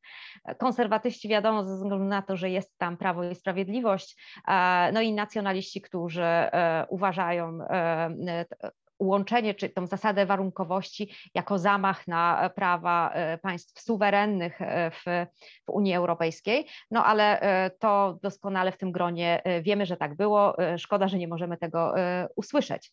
I teraz myślę sobie, że te 14 minut, które nam zostały do końca, możemy poświęcić nawet nie tyle, nie tylko na pytania, chyba że ktoś ma pytania, czy to do wszystkich panelistów, czy, czy do kogoś konkretnego, ale gdyby Państwo chcieli paneliści zadawać również pytania sobie nawzajem, e, albo chcielibyście coś skomentować, co Wam się nasunęło, co Was zdziwiło, e, to bardzo, e, bardzo prosimy. I doktor Ania Skrzypek jako pierwsza. Ja mam konkretne pytanie, jeśli mogę e, zapytać e, e, dwójką z kolegów panelistów, bo bardzo ciekawa była ta refleksja o zmianie granic programowych, która przebiła się w tym, co pan profesor Gagatek mówił o, o tym, że Hadecja jest zajęta odnową Hadecji. Mówił o tym też pan doktor Horos, mówiąc o kwestii, że liberalizm prawda, zniknął z nazwy frakcji liberalnej. Więc mam trochę pytanie, bo każdy każdy kryzys no to jest tym takim momentem wstrząsu i szansą e, zmiany kierunków. Jesteśmy na półmetku, e, e można powiedzieć, okresu legislacyjnego w Parlamencie Europejskim, więc czego zdaniem panów można oczekiwać od tych takich programowych zmian, które dzieją się w opisywanych przez państwa europejskich rodzinach partyjnych? Mhm nie wiem, który z panów chce zabrać pierwszy głos, to, proszę. To ja może w takim razie zacznę. O ile dobrze rozumiem to pytanie, to no, w przypadku liberałów od zawsze w sumie trudno jest mówić o jakimś takim stałym, e, spójnym i trwałym e, wymiarze programowym. Powiedziałem, że te, te kwestie migracyjne zeszły trochę na dalszy plan i widać tutaj te wątki takie nacjonalistyczne. Natomiast mam wrażenie, że E, na czoło, nie mówiliśmy dzisiaj o tym wątku, e, ale że na czoło, e, jeżeli chodzi o tą grupę, zaczyna się, zaczynają się wysuwać kwestie związane z ochroną klimatu. I tam się pojawiają bardzo też takie progresywne stanowiska. Zresztą sprawdzałem sobie tak na szybko, jak wyglądają głosowania w tych kwestiach w Parlamencie Europejskim. No i ewidentnie tutaj E, Renew Europe grają rolę takich kingmakerów i po prostu najczęściej to dzięki ich głosom przechodzi stanowisko zielonych i socjalistów, często przy znaczącym sprzeciwie IPP, aczkolwiek e, w tych ważniejszych sprawach e, z reguły bez tam przynajmniej kilku głosów z IPP nie udałoby się tych głosowań wygrywać. Niemniej jednak y, y, często też w debatach w tym obszarze pojawiają się te wątki takie federalizacyjne, bym powiedział. Tak? Znaczy na przykład pojawiają się argumenty o zmianie systemu głosowania, żeby jeszcze zmniejszyć znaczenie jednomyślności, żeby zmniejszyć, żeby zlikwidować jednomyślność na przykład w kwestiach dotyczących przyszłości Unii Europejskiej, prawda? No to to są takie, bym powiedział, dosyć, dosyć progresywne postulaty.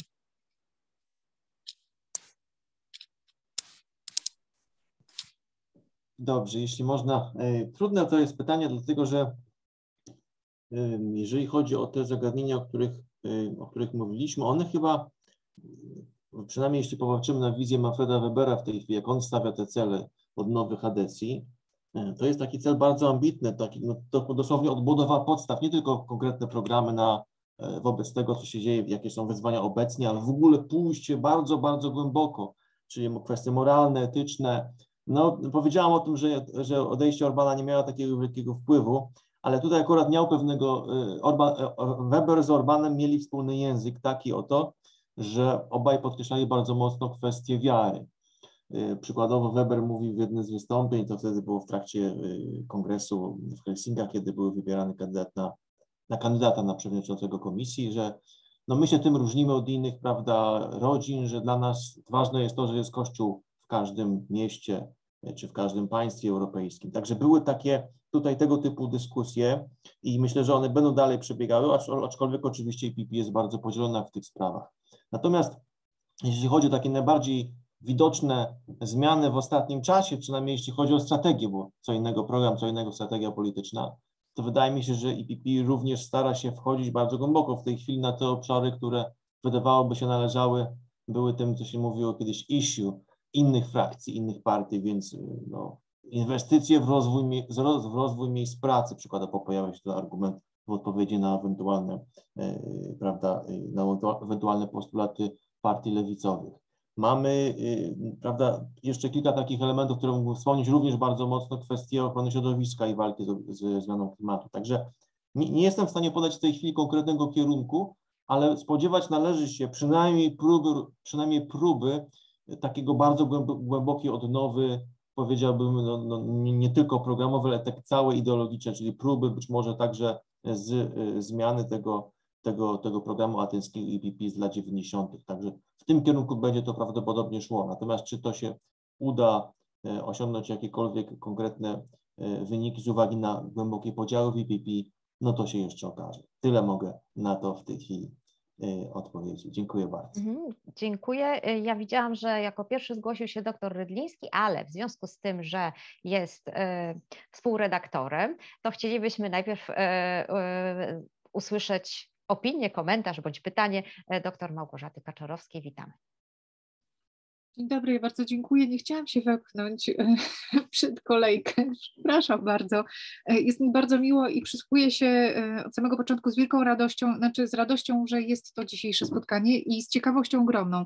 I mam taką refleksję, którą, a właściwie pytanie do wszystkich Państwa autorów oraz redaktorów w sprawie kwestii, która w tej chwili zajmowała i zajmuje, myślę, że głowy przede wszystkim polityków w różnych krajach, a w czasie to toczącej się kampanii wyborczej w Niemczech bardzo mocno e, niemieccy politolodzy mówią o kwestiach klimatu, które są tam jednymi z najważniejszych. Owszem, pandemia, owszem, skutki pandemii, o których y, tutaj y, Państwo wspominacie, które są tym punktem, wokół którego dzisiejsze Państwa wystąpienia się, e, bardzo ciekawe wystąpienia, e, ja sobie tu poczyniłam bardzo dużo różnych notatek, się koncentrują, ale właśnie chciałam zapytać, czy kwestie klimatu, które teraz mam wrażenie, że mogłyby Y, i w niektórych y, y, punktach, czy wśród niektórych partii i grup politycznych, one się europejskich gdzieś tam mogły przesunąć na drugą pozycję, choć jak wspomniał pan doktor Horoś, u liberałów one stają się tutaj zaskakująco pierwszoplanowe,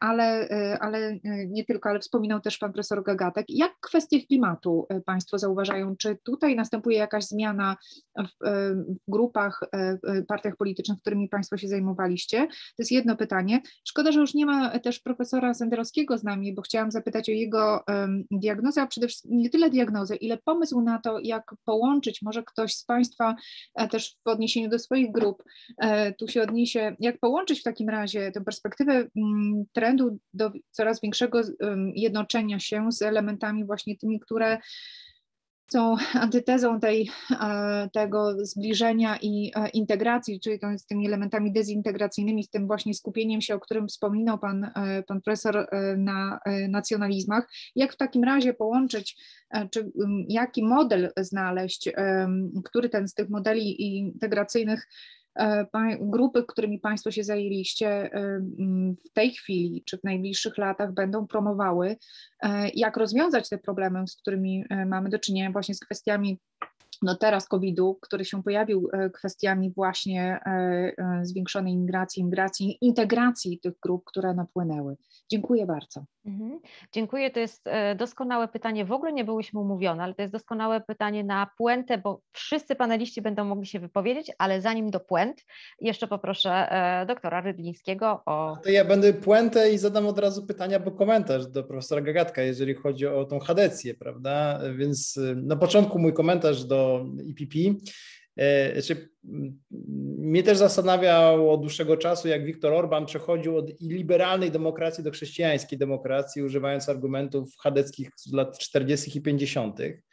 Ale chciałem się zapytać o pewną konsekwencję w działaniu, bo to przecież za sprawą również partii Angeli Merkel, CDU, w Niemczech przegłosowano równość małżeńską, prawda? Więc widzimy, że tutaj no, te kwestie moralno-etyczne no, no, nie były, można powiedzieć, dostrzegalne w takim tradycyjnym chrześcijańskim rozumieniu, prawda? Młodzieżówka CDU permanentnie jeździ na parady równości po całej Europie, również do, można spotkać ich w Warszawie z koszulkami za wolność naszą i waszą, prawda? I tam młoda Unia CDU. Jeżeli dodając do tego jeszcze słynne już polskie teksty o piłowaniu katolików i nieklękaniu przed biskupem, no to widzimy, że tutaj chyba nawet rodzima Platforma Obywatelska, przynajmniej względem takim deklaratywnym, no, idzie w taki mocny antyklerykalny y, nurt. Ale, tylko, ale też pytanie o pewną, ja wiem, że pan profesor Gagatek no, nie jest doradcą Webera, ale pytanie, czy to nie będzie przecież skuteczne, bo przecież Europejska Partia Ludowa reprezentuje wygrany globalizacji klasę średnią, która się jest bardzo sekularyzowana. W sensie my często, szczególnie z profesor, z doktor, o, no mogę profesor, z doktor Skrzypek bierzemy udział w różnych dyskusjach na temat socjaldemokracji. I często jest taka teza, że socjaldemokracja nie ma robotników, a Hadecja nie ma chrześcijan, prawda, i że to jest trochę no taki symetryczny, można powiedzieć, problem. E, a odpowiadając na doktor Kaczorowskiej pytanie o klimat, ja mam w ogóle wrażenie, że cała lewica, i ta niesocjaldemokratyczna, i ta socjaldemokratyczna, i trochę już zabieram chleb doktor Wiśniewskiej, znaczy w ogóle od wielu lat się zazielenia, e, dostrzegając problemy, czyli problemy nie tylko z klimatem, ale również chyba kreując swoją strategię polityczną. Znaczy jednym z wytłumaczeń, oprócz tego, że Olaf Scholz jest bardzo podobny do Angeli Merkel swoim brakiem emocji i chłodem i tak dalej, jest to, że SPD była niezwykle konsekwentna od lat, jeżeli chodzi o przeciwdziałanie niebezpiecznym zjawiskom zmiany klimatu. Oczywiście Partia Europejskiej Lewicy no, mówi nami Klein, znaczy mamy do wyboru albo życie, albo kapitalizm, prawda? W sensie, bo kapitalizm zdaniem Partii Europejskiej Lewicy niszczy środowisko i teraz od nas zależy wybór, czy chcemy żyć w planecie, gdzie oddychamy czystym powietrzem i temperatura po prostu nie skoczy, nie skoczy do takiego poziomu, że nie będziemy mogli żyć, albo wybieramy właśnie zagładę i to, że wierzymy w linealny rozwój gospodarki kapitalistycznej, no ale widząc po wynikach y, zarówno e, D-Linka, jak i innych partii członkowskich Partii Europejskiej Lewicy widzimy, że nie jest to argument aż tak nośny. Przypuszczam, że socjaldemokracja jest tutaj bardziej zjadliwą e, alternatywą w tej, w tej narracji. Dziękuję. Mhm. E, dziękuję, więc e, Bartosz już wykorzystał swój czas na puentę i poproszę teraz, jeżeli można, odwrócić kolejność, więc pani doktor Ania Skrzypek, następnie doktor Błażej Choroś, spuentować i odpowiedzieć na pytanie doktor Kaczorowskiej, doktor Paula Wiśniewska, a zwieńczy dzieło e, profesor Wojciech Gagatek, do którego były dodatkowe ekstra pytania. Poproszę e, Anię Skrzypek. Odpowiadając, bardzo dziękuję za pytania. E, kwestie środowiskowe i kwestie zielonych to są oczywiście podstawa, dla którego w ogóle zieloni powstali. Są też zieloni z jednej strony mogą się poczuwać do sukcesu, jakim jest to, że dzisiaj, prawda, Fundusz Odbudowy mówi, że nie ma środków bez zazielenienia gospodarki, zmiany modelu gospodarczo-społecznego. No ale z drugiej strony jest też tak, że są ofiarami własnego sukcesu, w sensie w tej chwili, jak mówił już dr Rydliński, w tej chwili zazielonili się już prawie wszyscy. Dlatego też e, zieloni właściwie od takiej narracji prostej, prawda, tutaj podatki, ten, który zaśmieca, musi płacić, oni przechodzą do takiej bardziej narracji nowej wizji społeczeństwa, gdzie te kwestie środowiskowe są ważne, ale równie ważne jak i kwestie gospodarcze, jak i kwestie równości. E, no poza tym oni e, również mówią o tym, ok, Fit for 55 to jest perspektywa długoterminowa, ale czy będziemy gotowi na 2030? Więc oni jakby trochę dokręcają prawda, tutaj przykręcają śrubę i mówią, musimy się pospieszyć. My od dawna to mówiliśmy, a teraz musimy się pospieszyć. No i na pewno ten moment e, COP w Glasgow na jesieni e, będzie tym takim momentem ożywienia ich narracji a propos spraw e, zielonych. Co więcej, mimo że prawda, oni to przyjmują jako za trwały element, oni idą za ciosem i mówią o sprawach, których nie mówiło się bardzo długo. W tej chwili ona się pojawia na nowo, prawdopodobnie w Polsce znowu będzie niezwykle kontrowersyjna, a mianowicie kwestia absolutnie gruntownej reformy wspólnej e, polityki rolnej. To jest coś, co w tej chwili Zieloni bardzo podnoszą, co do tej pory było gdzieś tam na uboczu tych wszystkich takich obostrzeń, e, jeśli chodzi o zanieczyszczenia i tak dalej, i tak. Jeśli chodzi o drugie pytanie, bardzo krótko obiecuję, bo już widzę, że pani profesor Pacześniak już e, mi tutaj sygnalizuje prawie a mianowicie te kwestie y, od środkowej do środkowej. Ja myślę, że to dzisiaj padło w dyskusji w, w tych e, takich, można powiedzieć, większych, szczególnie e, rodzinach politycznych, a mianowicie wracamy do dyskusji, jak mają być e, podejmowane decyzje, jak przekształcić ten moment, w którym okazało się, że no jednak jest możliwe, jest możliwe zgromadzenie środków, jednak jest możliwe wspólne działanie w zakresie badań naukowych, jednak jest możliwe wspólne działanie, jeżeli chodzi o zapewnienie szczepionek. No oczywiście komisja początkowo była krytykowana za no, partactwo polityczne, jeśli chodzi o zapewnienie szczepionek e, dla całej Europy, no ale dzisiaj, prawda, nawet w orędziu a propos przyszłości, a propos stanu Unii Europejskiej, to jest dzisiaj podnoszone jako sukces. E, więc jest ten element e, wspólnotowy. Zieloni mówią, że prawda, to jest triumf solidaryzmu nad partykularnymi interesami. Oni mówią, że prawda, są podstawy, żeby próbować iść dalej i myślę, że podobnie jak tutaj to było podkreślane, pani doktor Wiśniewska o tym mówiła, ale chyba mówił o tym też pan profesor Gagatek, ta kwestia redukcji dziedzin, w których mówimy o podejmowaniu, o jednomyślnym podejmowaniu decyzji. I myślę, że te partie i ich e, rządy będą e, te mechanizmy forsować, no a poza tym dzisiaj jest bardzo dużo nowych wyzwań, gdzie przykładowo no bardzo e, pacyfistycznie nastawieni zieloni będą mieli duży orzech do zgryzienia, bo co innego jest powiedzieć, jesteśmy za jednomyślnością w kwestii wspólnej polityki zagranicznej, jesteśmy za jednomyślnością, jeśli chodzi o nową politykę migracyjną, no ale dla Zielonych ta kwestia, jak ma wyglądać ta polityka zbrojna e, i tutaj co zapowiedziała komisja, no to na razie w tej, e, na tym etapie, niezależnie od tego, i tu wracam do początkowego pytania pani profesor Pacześniak, że Zieloni mają się za trendsetterów w kwestii polityki obronnej. Myślę, że tutaj jest całkiem jeszcze sporo e, dla nich wyzwań, żeby uzgodnić wspólną politykę, jak ona ma wyglądać.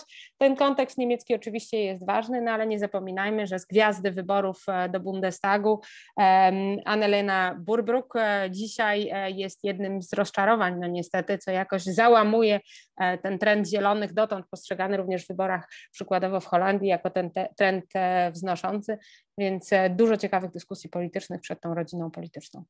Mhm. Bardzo dziękuję. Doktor Błażej Choroś. Już trochę o tym zielonym programie, w, w, w, czy zielonym elemencie w programie liberałów mówiłem. No faktycznie widać, że politycy czytają te same badania, które my i wiedzą, że to już nie jest dzisiaj e, wątek marginalny, tylko absolutnie mainstreamowy. Może jeszcze tego w polskiej polityce nie widzimy, ale e, ta, ta kwestia e, walki z zmianami klimatycznymi to jest w zasadzie druga noga, jeżeli chodzi o liberałów. W tej chwili pierwszą nogą jest kwestia wartości i to, co no, chyba trochę pod presją premiera Rutte zostało wyciągnięte na sztandar, e, czyli walki z, e, z naruszeniami w krajach takich jak Polska i Węgry, no to, to jest jakby zapakowane w pakiet e, europejskie wartości. Drugi pakiet to, jest, to są zmiany klimatyczne.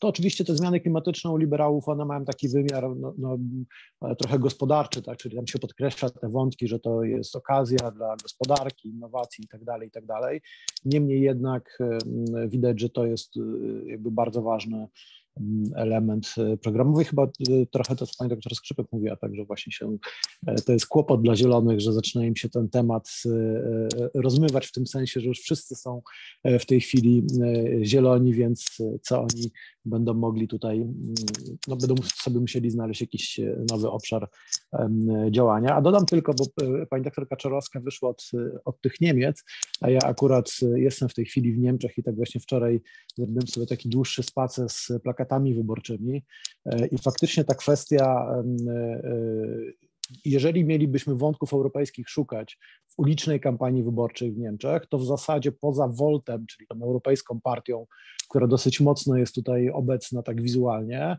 e, nie widziałem żadnego plakatu, gdzie jakiekolwiek wątki europejskie bezpośrednio byłyby poruszane, poza kwestiami klimatu, choć też nie jest on ubierany e, tam w wymiar europejski, tylko jeśli już to raczej globalny. Da? To taka e, tylko ciekawostka. Dziękuję. Mhm, dziękujemy za ciekawostki z pola walki e, na ostatniej prostej. E, I poproszę dr Paulę Wiśniewską o krótkie odniesienie się na temat socjalistów. E, no jeśli chodzi o tą politykę zieloną, to e, ona jest w orbicie zainteresowania socjalistów tak naprawdę od lat 90. i zawsze ten wątek pojawiał się w ich e, programach politycznych. Natomiast tutaj na bieżąco, nawet po tym orędziu właśnie pani przewodniczącej von der Leyen, przewodniczący Partii Europejskich Socjalistów odniósł się, że faktycznie tutaj musi być, PES popiera realizowanie zobowiązań ekologicznych. Oczywiście jak to socjaliści i socjaldemokraci nawiązał do tworzenia e, zrównoważonego systemu zapewnienia ekologicznych miejsc, zielonych miejsc pracy. Kwestie tutaj też ochrony bioróżnorodności także pojawiają się w orbicie zainteresowania Partii Europejskich Socjalistów, więc ten wątek zielonej, sprawiedliwej, zielonej transformacji jest cały czas podnoszony i jak najbardziej Partia Europejskich Socjalistów i grupa w Parlamencie Europejskim zgadza się ze stanowiskiem czy polityką prowadzoną przez Komisję Europejską.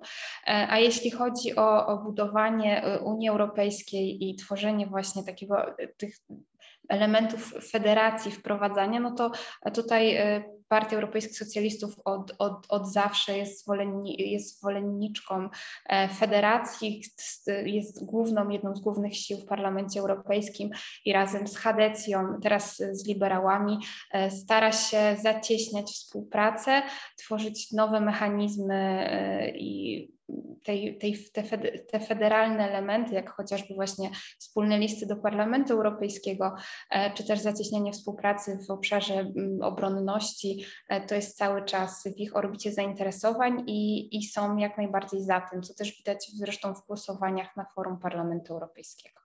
Więc to podsumowując, dziękuję bardzo. Mhm, dziękuję i e, profesor e, Gagatek, e, przypominam tylko o bonusie od Bartosza Rydlińskiego. Dziękuję bardzo, więc muszę skończyć jakoś trochę poważnie, trochę żartobliwie.